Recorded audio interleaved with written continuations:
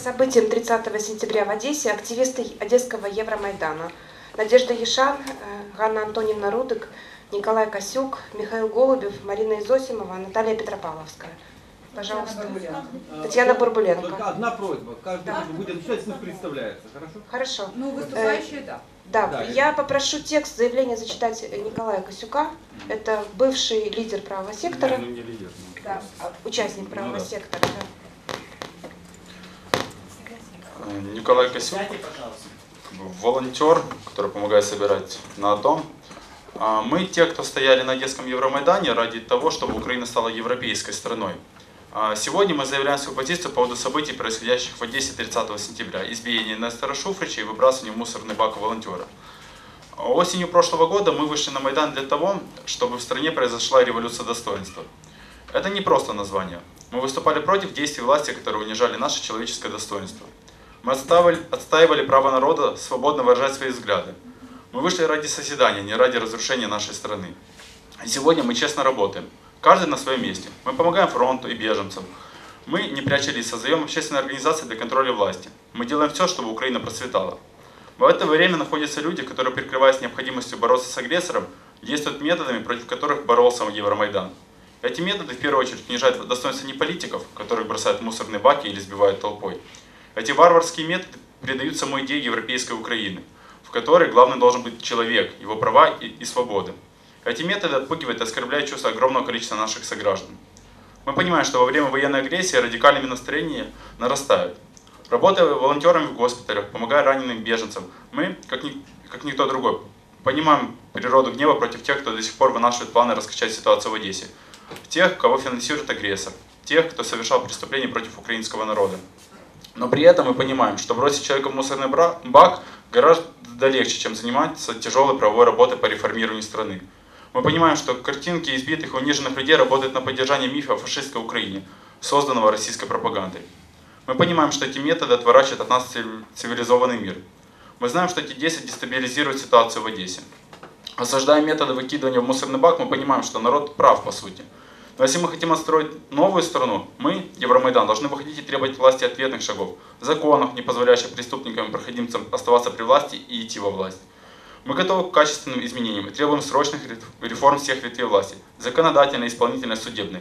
Мы еще раз напоминаем, что так, как было при Януковиче при старой системе, уже не будет. Срочно требуем подписания закона Украины о иллюстрации, полной перезагрузки власти. Не надо бояться Левочка на его вассалов. Народ изменился.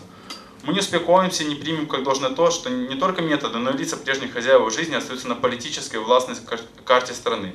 Мы меняли власть не для того, чтобы сыновья генпрокурора и президента страны шли тем же путем, что и сыновья и экс-генпрокурора, и экс-президента. Мы хотим качественных и ощутимых изменений, начиная от администрации президента и заканчивая рай- районной администрацией. Помните, мы вас избрали. Наши братья и сестры сложили свои головы за право жить в свободной независимой стране, где доминирует право, а не телефонный звонок, где побеждает справедливость, а не сиюминутная выгода, где работают социальные лифты для умных, свободных и честных людей, а не возможность карьерного продвижения только своих детей и кумовей. Уважаемые представители новой власти, мы требуем, чтобы вы служили закону и народу. Мы призываем всех участников Одесского Евромайдана действовать правовыми методами и взвешивать последствия от методов, которые являются радикальными и вредят имиджу и Одессы, и Украины. Да, правовые методы – это тяжелый и медленный путь, но это единственный путь, который позволит сохранить мир. Мы не должны допустить гражданское противостояние в Одессе. Спасибо. Не подпись только наших, надо подписать, короче. Да, Ну, это- Если не понял, если не можно? Да, и потом, Да. да, каждый. Можно против. А можно это обращение Нет, разгрузить? ну, Оно выступление будет в будет. электронном виде. Оно будет в электронном виде. Да. Сейчас мы по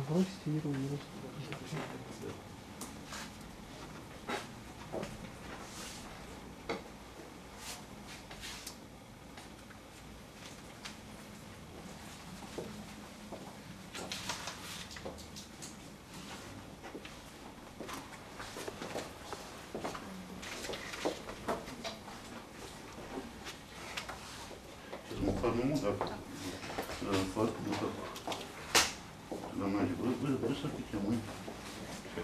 Хорошо? Или как? Наверное, так, уже каждый для себя кто-то что-то добавит. да?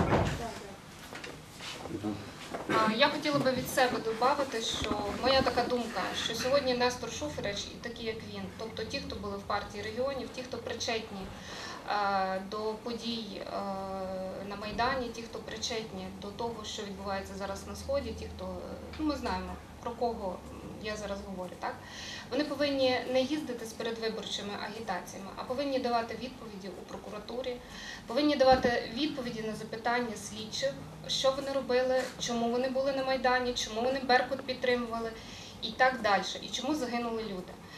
Е, Те, що вони поки що не там, а їздять по Одесі, по Україні загалом, і дає такий результат. Люди змучилися від цього. І мені було дуже прикро дивитися в записі, тому що я, на жаль, чи на щастя, не була в обладміністрації, коли відбувалася ситуація з Шуфричем. Мені було дуже боляче дивитися, як е, вони провокативно виводять із себе моїх друзів, тих, які першого дня Майдану були на Одеському Майдану, Майдані, ті, які їздили до Києва, ті, які побували в зоні АТО, які бачили смерті, коли люди йшли на смерть за Україну. А сьогодні о, оці люди, щоб я їх не назвала так, як вони на це заслуговують, Їздять- слово людиська. Людиська їздять по Україні і починають знову будоражити наше населення і робити провокації, і робити картинки на телеекранах. Я категорично проти цього, і я би хотіла, щоб наша влада звернула на це увагу. Бо те, що відбувається, це відбувається е, не по-європейськи, це неправильно. Але це те, що накипіло. У влади зараз є всі можливості це зупинити і е, правовим шляхом, шляхом відповідно до законодавства, зупинити і наказати тих, хто на це вже давним-давно чекає і заслуговує. Тому моя така позиція, тому я сьогодні підписала таке звернення: звернення до президента, до нашої влади. Дякую. А, Яшан Надія.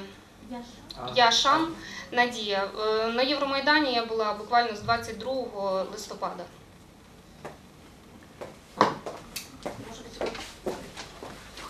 Наталья Петропавловна. Наталья Петропавловская.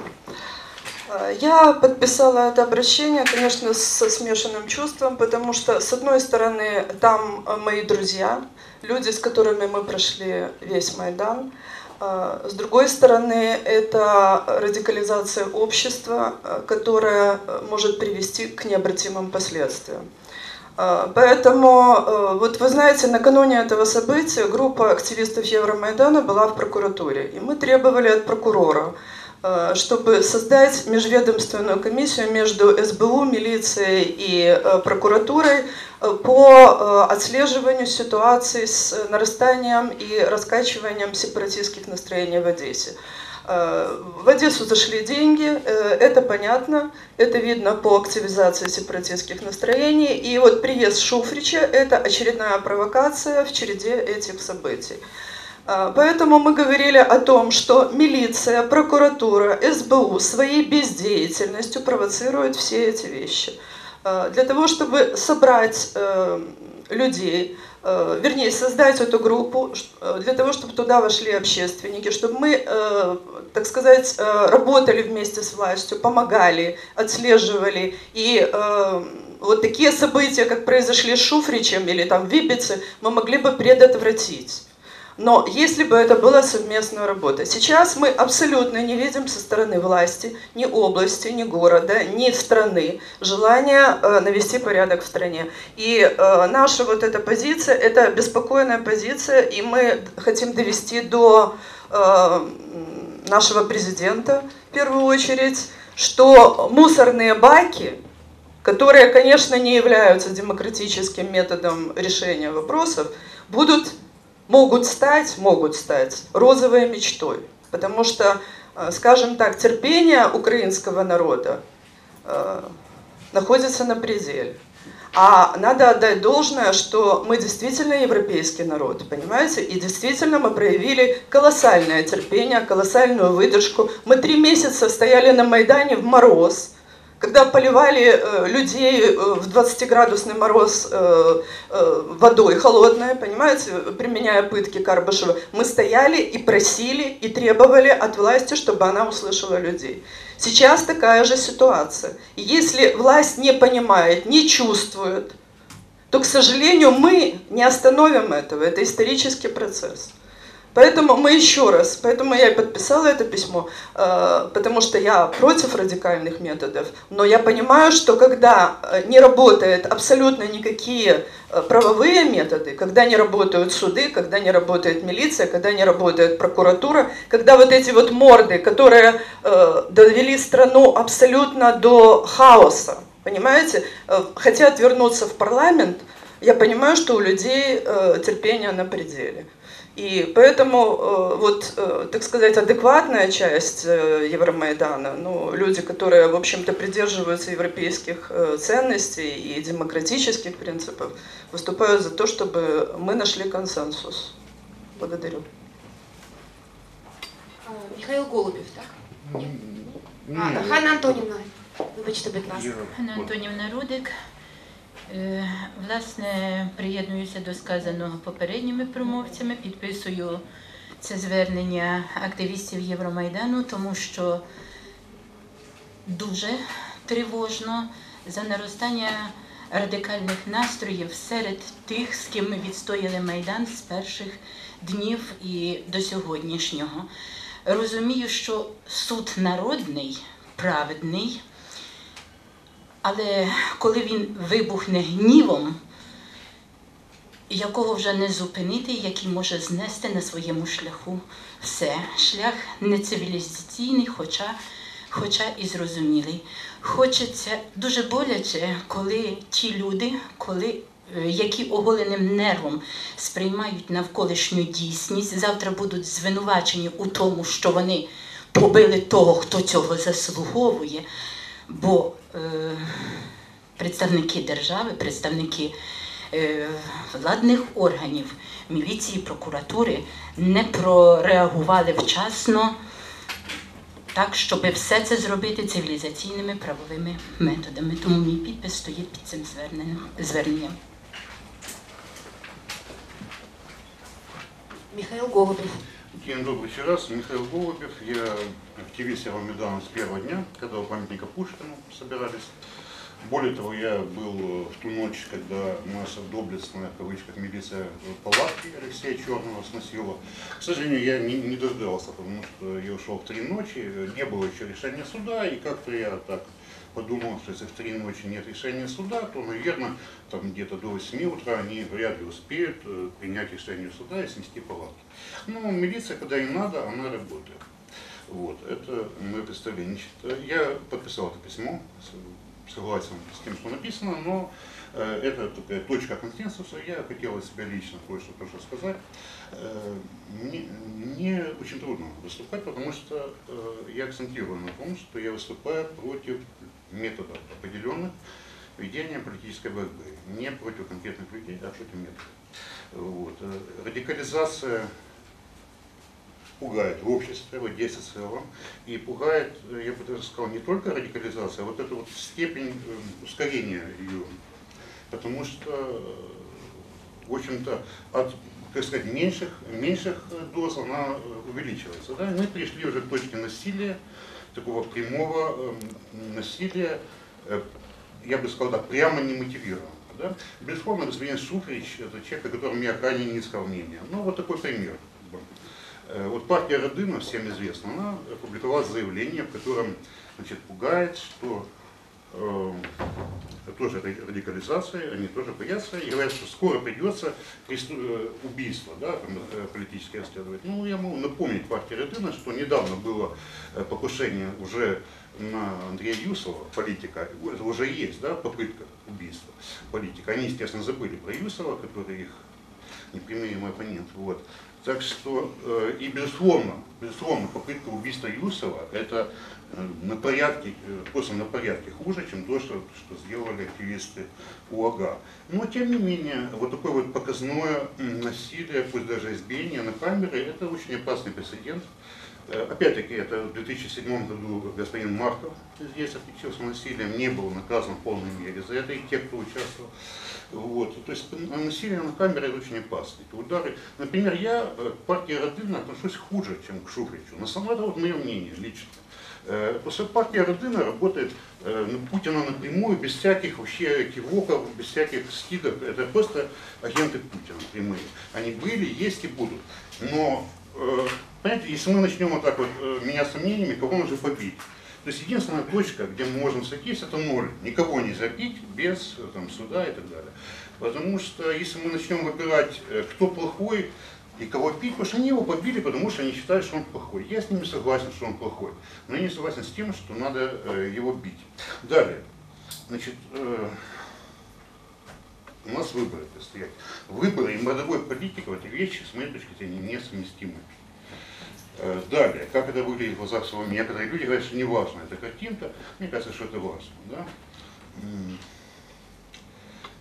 Многие люди, они э, теряли надежду, да, что что-то будет меняться к лучшему. Мне кажется, что у нас при всей тяжести положения есть план ясный. У нас есть, конечно, эта война тяжелая, но значит, которая вошла в какую-то такую стадию, на которой, будем надеяться, э, значит, э, не будет разгорания военных действий. У нас есть экономически тяжелый фронт, у нас есть выборы. И у нас совершенно ясная перспектива, что вот эти реакционные силы, эти люди, которые действительно 16 января взорвали нашу страну законами, они не будут представлены там в той мере, что они смогут определять законы и политику. Да, негодяи туда придут. Да, будут подонки в Новой Раде, негодяи, будут которые действительно заслуживают самой низкой, с моей точки зрения, моральной оценки. Но они не будут определять политику. И поэтому нам нужно, наша задача, это мы идем на выборы, мы должны выиграть выборы у них максимальным перевесом. У Киваловых, у всех этих людей э, партии регионов, э, коммунистов, которые нашу страну просто взорвали. Да. Я помню, 19 января мы ходили на марш, было человек 50. Э, И одно из названий марша было «Последний свободный марш». То есть я действительно ужасно, потому что я помню эти события тем людям, которые вот эти вот 16 января, действительно это была точка взрыва страны. Если бы не были приняты эти законы, то, возможно, обошлось бы без крови, какой-то компромисс там, и как-то мы жили бы мирно. То есть это действительно, я считаю, негодяи и подонки. Но, опять-таки, мы должны выиграть у них на выборах, а не на улице кулаками. Вот. И что еще хотел сказать, что вот господин Ярош, известен, его уважаю за принципы, но все-таки, господин Ярош, есть люди другие, у которых тоже есть принципы в этой стране, и, пожалуйста, господа из правого сектора, уважайте наши принципы тоже, потому что если сюда придет Путин, мы будем на одной стороне, да? может быть, в разных углах, но на одной стороне. Вот. И, пожалуйста, думайте не, не только о себе, о своих каких-то узких интересах. Спасибо. Спасибо. Разрешите? Да, пожалуйста. Кому вопрос? Дима? Знаете, кто ответил. Давайте я попробую задать э, первый вопрос. Так. Кому, кому скажите? Надежде Яшан. Э, Вполне э, простое. Во многом ситуация э, в стране определяется тем, что значительная часть населения обладает прям правами полной неприкосновенности, то есть которых нельзя прикоснуться ни при каких обстоятельствах. Плани- Собираетесь ли вы после выборов обратиться к тем, кто будет избран, с- уже не с просьбой, а с требованием, чтобы э, э, непри- депутатская неприкосновенность была либо снята, если это возможно, либо ограничена определенными понятиями, как это принято в большинстве стран Европы. Про депутатську не- недоторканність, так? Ну, я вважаю, що е, депутатська недоторканність це таке якесь е, м, поняття зараз для нашої країни, воно не- не є правильним, тому що е, під цією депутатською недоторканністю ховаються такі люди, як Шуфрич і все інше. Е, Звичайно, мені здається, що на сьогоднішній день треба, щоб депутати про це ну знову ж таки вони повинні е, в Верховній Раді проголосувати це. Требовать будете этого? Е, щоб зняли депутатську Да. непри... так. Да. Мені я буду е, в числі тих, хто буде Я понял. за Первый це. вопрос и все. Вопрос второй. Вот это вопрос тому, кто захочет ответить. Вот вы высказались по поводу того, что люди, э, приведение, э, при- ну, привели к примеру Шуфрича, должны, должна заниматься прокуратура и все остальное. Скажите, а как вы видите это практически? Шуфрич действующий депутат. Рада пока э, то есть, э, свое состояние не прекратил. По действующим законам он обладает депутатской неприкосновенностью. По выборному законодательству действующему ничто не мешает ему э, участвовать в выборном э, э, процессе и претендовать на место в следующий раз. Э, Каким образом милиция или кто-то еще может этому воспрепятствовать при той, системе- при той законодательной системе, которая сейчас действует? Вот попробуйте мне это объяснить. Можно объединить прокуратуру, милицию и СБУ, можно их разъединить, но законодательная система останется той же. Вот в этих Е, условиях, как В, вы на, себе в нашому представляете действия? законодавстві дуже багато є колізій, і е, одна із них. Так, але ми знаємо прецеденти, коли депутати народні ставали не депутатами. Ну це від мене. Я бачу, що Да, тоже два слова. Ну, а как милиция? Я думаю, что наш новый парламент будет действительно на порядок лучше предыдущего. Он сможет принять э, нормальные законы, радикальные реформы, начать действительно европейские, которые нам не давал делать известным балластом. Да? Все эти больше 20 лет. Вот этот балласт сейчас он очень ослаб. Вот. И э, после принятия этих законов, да, можно будет справиться и с Шуфричем, и с Киваловым и так далее. И, я, я уверен, абсолютно уверен в том, что этот парламент новый, э, который не тот парламент, который Понятно. принимал 16 января, а новый, он будет просто на порядке лучше. И не нужно нагнетать панику, что вот они пройдут. Да, немножко их пойдет, будет несколько подонков. Но э, надо бороться на выборах, а не методами донецких Я бандитов. вас понял. Вот, ну, я еще раз повторить, что вот я действительно, э, потому что мы уже дошли, что правый сектор и некоторые другие активисты, они начинают применять методы, я считаю, просто донецких бандитов. То есть есть такая поговорка, что мы становим- становимся похожи на наших врагов. И это очень правильно, так в жизни всегда бывает, но мне не хотелось бы здесь, чтобы из любой стороны такие методы применялись в политике. Я понял, но спросил я другого. Как вы себе представляете, что может сделать сейчас милиция и прокуратура, милиция и СБУ? Сейчас я считаю, что Э, Я считаю, что сейчас ничего, да. Я считаю, что надо, надо э, демократически идти на выборы, и надо принять, что некоторые люди, одиозные, ужасные, с нашей точки зрения, они будут в этой раде. Я считаю, что мы должны, мне это дико противно, и я заставил себя с этим смириться, но я считаю, что это единственный правильный путь. Да, пусть будет немножко подонков. Следу- еще в следующей раде, может быть, их уже будет ноль. Сейчас их будет просто меньше. На жаль, сьогодні, сьогодні зразу щось змінити з Шуфричем чи подібними неможливо. Е, ну поб'ємо, ну викинемо в бак, але ж від цього нічого не зміниться. Тільки отак е, е, цивілізо- Я цивілізованим, понял. терпляче йти до, Я понял. До кінцевої мети, Ну, до я- очищення повного. Я э, немножко не согласна, что милиция ничего не может сделать. Значит, расследовать дела они могут, заводить уголовные дела они могут. И если есть представление генерального прокурора, то это выносится в парламентский зал, и э, парламентарии должны сами проголосовать за то, чтобы вывести этого человека. Вот если будет такой резонанс, и будут действительно расследованы дела, которые будут вынесены, вот пусть покажут поименно, кто проголосует против. Понимаете? Поэтому Э, У нас вообще на сегодняшний день действуют, вернее, написаны неплохие законы. Их надо хоть как-то выполнять. Поэтому это не совсем вот так, что мы ничего не можем сделать. Если милиция и прокуратура наши хотят, мы прекрасно знаем. Мы давно живем, понимаете? Мы знаем, что они все могут. А другое дело, хотят они или нет. Ну, до выборов и будет. Ну, еще Можно, э, можно один Палатку они снести могли, да. Да, он пять. И расстреливать людей. э, вполне конкретный вопрос. Э, Что вот э, представители группы, которые перед нами выступили, что думают по поводу э, того, что э, от- ну, открыто дело, и э, власть заявляет, что будет расследование в отношении тех, кто устроил этот э, инцидент. Э, В ответ, э, как известно, э, вчера на пресс-конференции сказали, что в случае преследований они гарантируют общественную безопасность. Э, Как к этой ситуации? Что вы имеете в виду? Э, Что я, что я имею в виду? Открыто дело. Следует ли э, э, милиции расследовать дело в отношении тех, кто избил э, Шуфрича? мене. И, и второе, э, как бы с этим связано, если будут преследования, они сказали, что будут, э, ну, не гарантируют общественную безопасность. Это дословно. Ну, еще раз. Ну, во-первых, э, милиция будет делать то, что она считает нужным. Это я так понимаю, что они у нас спрашивать не будут. А, Но э, в отношении людей, во-первых, это спровоцировал од- однозначно Шуфрич. Однозначно, понимаете? Потому что то, что он приехал в Одессу, Э, То, что он э, почему-то в фойе АГА начал давать пресс-конференцию, это абсолютная была провокация. И ребята, вот мы видели Сережу, который говорил, просто говорил то, что накипело. Но это был разговор. При этом Скорик кричал, что ударь меня. Ну это вообще смешно выглядело, понимаешь? Ударь меня, еще раз ударь. А, то есть, а вот дальше как развивались события, но я не берусь а, а, четко определять, кто там виноват. Но то, что они спровоцировали и они хотели, другое дело, что у ребят, конечно, которые возвращаются с фронта. Понимаете, у нас сейчас вообще э, ситуация, вот мы разговариваем с точки зрения, вот Голубев говорит, с точки зрения э, мирного либерального процесса, да, вот у нас вроде бы АТО какое-то, не АТО, а по факту все находятся в состоянии войны.